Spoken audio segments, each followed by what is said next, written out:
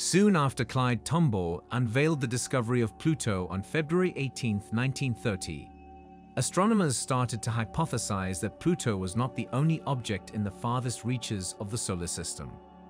They eventually started to speculate about the possibility of further items in the space, which they would eventually find by 1992. A ring of frozen bodies known as the Kuiper Belt contains a diverse collection of thousands of dwarf planets and other relatively tiny objects that reside beyond the orbit of Neptune. These often pristine remnants of the planet-forming phases of our solar system are known as Kuiper Belt objects, or trans-Neptunian objects.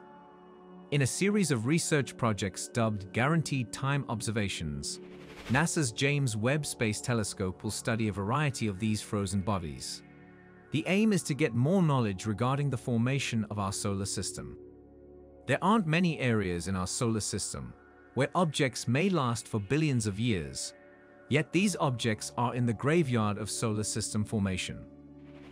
Astronomers are hoping to discover which ices were there in the early solar system by investigating these asteroids. Scientists are especially interested in comparing these frigid worlds to the planets since they are the least active in terms of geologic and atmospheric activity. Despite being very cold and dim, Kuiper Belt objects shine in infrared light, which has wavelengths beyond the range of human vision. Webb was created particularly to detect infrared light. Scientists will mostly use a method known as spectroscopy to analyze these far-off objects. This approach separates light into its different colors to identify the characteristics of things that interact with that light. Various options. The inhabitants of the Kuiper Belt are diverse in terms of size and form. Others have rings or moons, while others live in couples or multiples. They display a variety of hues, which might signify various creation histories or varying exposure to sunshine. Some seem to be more red, while others are more blue. Why is this? We will be able to learn more about surface chemistry with Webb, which may help us understand why the Kuiper Belt has so many diverse populations. Kicked out of the club. There is a distinct population of objects known as centaurs that is located between Jupiter and Neptune and crosses the orbit of one or more of the big planets.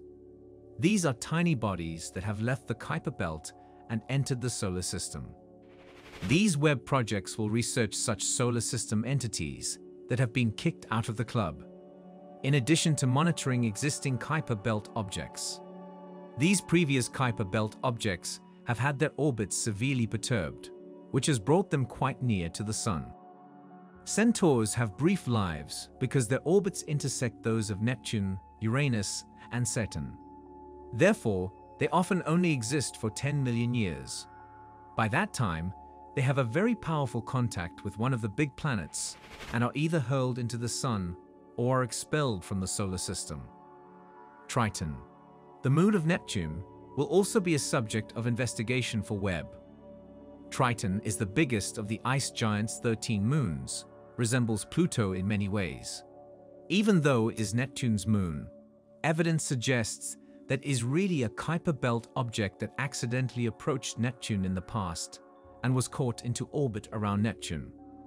The Voyager 2 probe examined Triton in 1989. We will use those satellite data as crucial ground truth for our Webb observations of Kuiper Belt objects.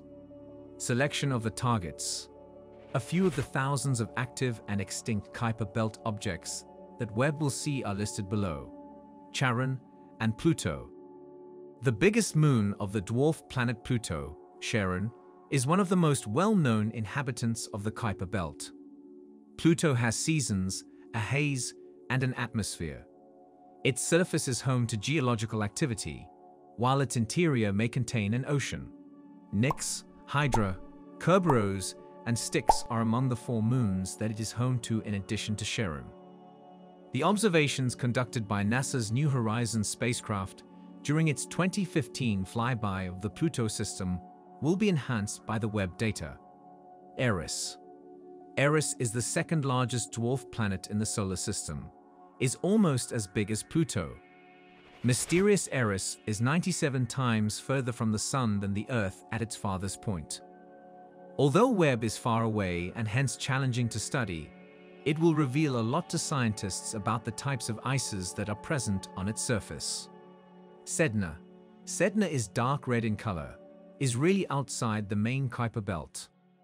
One orbit lasts around 11,400 years, and the furthest point of that very long orbit is thought to be 940 times the distance of Earth from the Sun. Olmir. Scientists are curious as to why this massive, fast-rotating planet is fashioned like an egg. It seems to feature a ring system in addition to moons. Scientists anticipate learning more about the formation of those rings from Webb. Chariklo. In addition to being the biggest centaur, Chariklo is the first asteroid discovered to contain a ring system. It was our solar system's fifth ring system, following those of Saturn, Jupiter, Uranus, and Neptune. It is estimated that the rings are 2 to 4 miles wide. If such an alignment happens within the first two years of Webb's existence, another program called a Target of Opportunity will watch a Kuiper Belt object pass in front of a star. This kind of observation, known as an occultation, might show the magnitude of an object. The few spacecrafts that have passed by Kuiper Belt objects have only had a very brief opportunity to explore these fascinating objects. Astronomers can target more Kuiper Belt objects with Webb over a longer period of time. New understandings of the early history of our solar system will emerge as a consequence. The James Webb Space Telescope will explore the fascinating origins and architecture of our universe and our role within it. It will also peer beyond our solar system to faraway planets surrounding other stars.